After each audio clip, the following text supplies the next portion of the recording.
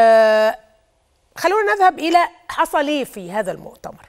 الحقيقة المؤتمر آه، آه، مشي بالتدريج حكى الحكاية والحكاية تعود ل 2017 من 2017 وحتى أو 2018 لحتى وحتى 2021 ماذا حدث؟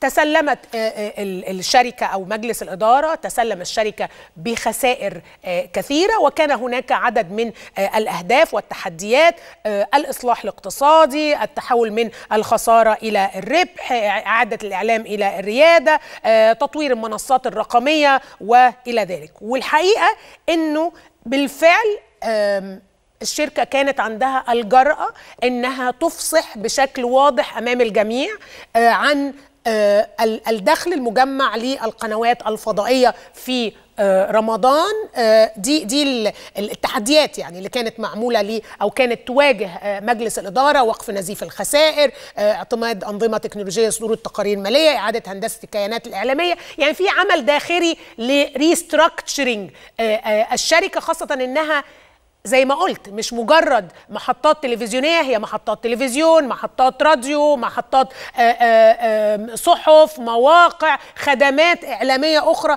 ففي هيكلة كثيرة بتحصل في كل الشركات.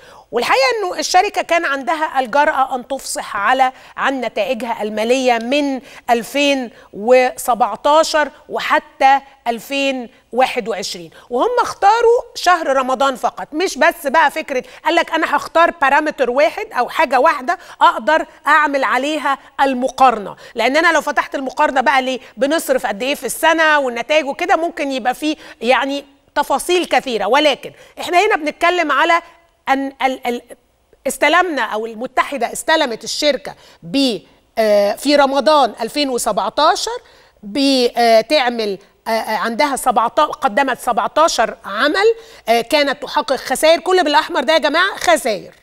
469 مليون أو 470 مليون جنيه.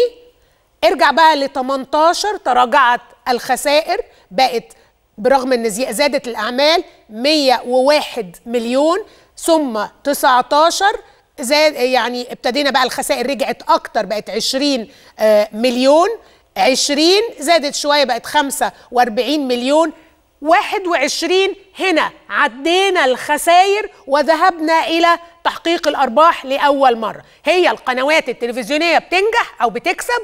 ده سؤال طرحه مهندس حسام صالح.